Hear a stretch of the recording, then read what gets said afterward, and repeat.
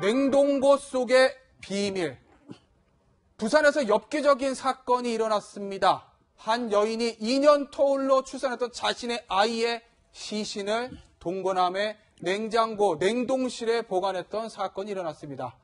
오늘 이 엽기적인 소식 다시 한번 자세히 다뤄보도록 하겠습니다. 네. 저희 사회의 아픈 부분이고 골마 있는 부분들을 어떻게 보면 단편적으로 보여준다고도 볼 수 있는데요. 함께 보실까요?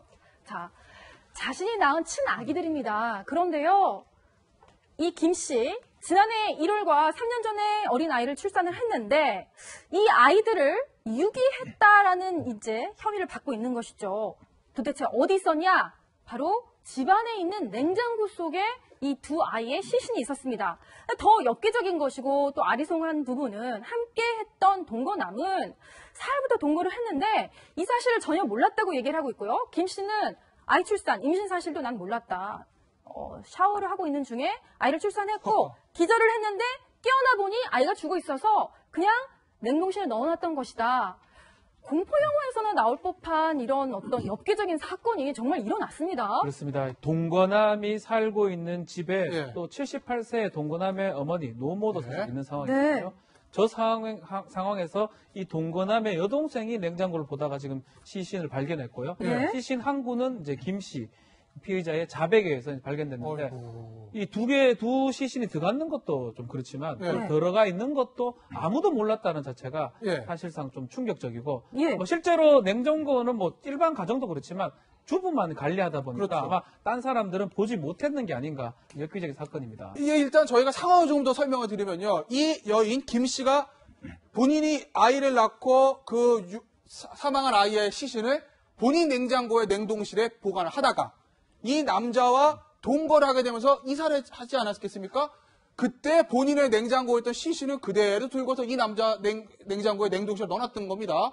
그러다가 이 남자의 동거남의 여동생이 오빠 집에 놀러 와서 밥을 해 먹으려고 냉장고를 턱 열었다가 이 아이들의 시신을 발견을 했다는 건데 글쎄 일단 뭐 동거남은 난 진짜 몰랐어. 내가 뭐 냉장고 안에 있는지 뭘 넣어놔도 어떻게 하냐라고 얘기를 하는데 검찰은 일단 이 동거남과의 관계들도 좀 살펴보고 있는 것 같아요. 그렇죠. 이 지금 그 김모 씨라는 여성이 원래 나이가 34입니다. 서른 예. 예. 그러니까 이게 지금 어린 나이가 아니에요. 사실 그 본인이 어, 임신하고 출산했던 그런 과정들이 뭐 어떤 어, 샤워를 하다가 얘기가 나왔다고 하는데 자, 이 어떤 얘기를 이제 한번 낳은 것도 아니고 사실 두 번째 낳은 거거든요. 예. 네. 자, 그렇다면 분명히 본인이 어떤 뭐 애기 그걸 임신하고 가지고 뭐 출산하는 그런 과정들에 대해서 분명히 알고 있을 테고 네. 그렇죠. 동그라미 그걸 몰랐다는 것을 네. 제가 볼 때 좀 납득하기 어려운 어, 사실이에요. 네. 왜냐하면 뭐 같이 생활하게 되면 배도 나온 것도 알 테고 예. 예. 또 어떤 여러 생활적으로 다른 그렇죠. 두 측면이 있지. 않겠습니까? 네. 그런데 그것도 저- 처대기도 아니고 네. 그런 문제 비춰봤을 때는 동거남의 저런 해명 자체는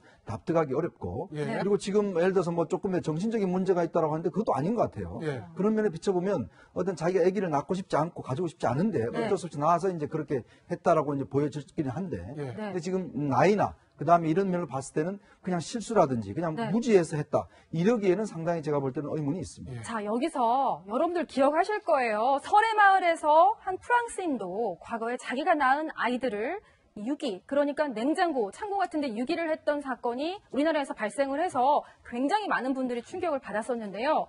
궁금하지 않으십니까? 왜 이런 일들이 일어나는지. 그래서 저희가 전문가에게 직접 한번 물어봤습니다. 함께 들어보시죠.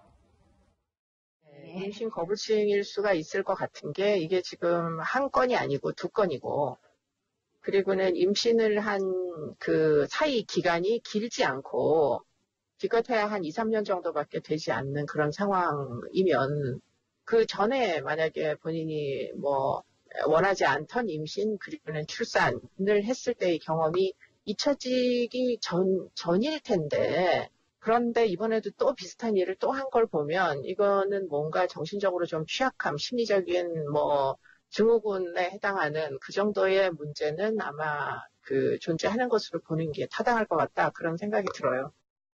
뭐 이 정신의 문제 또는 이제 심리의 문제로 이렇게 전문가께서 해석을 해주셨는데 네. 저는 이번 그 영화 그 유기 사건을 보면서 이 우리나라의 이 저출산 대책의 네. 문제가 좀 드러난 게 아닌가 하는 생각이 듭니다. 네. 일단 두 명의 출산된 아이가 그 유기 됐을 그 유기가 됐어도 전혀 사회가 좀 알지 못한 거 아닙니까?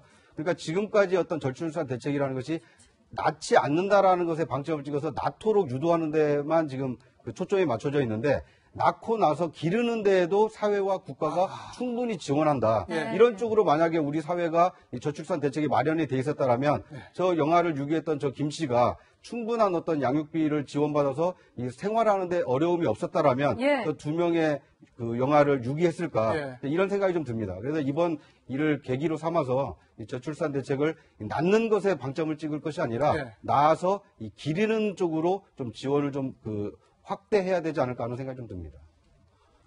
뭐 미혼모라든지 이혼 가정의 육아에 대한 대책이 나라에서 어느 정도 세워져야 되는 건 맞습니다.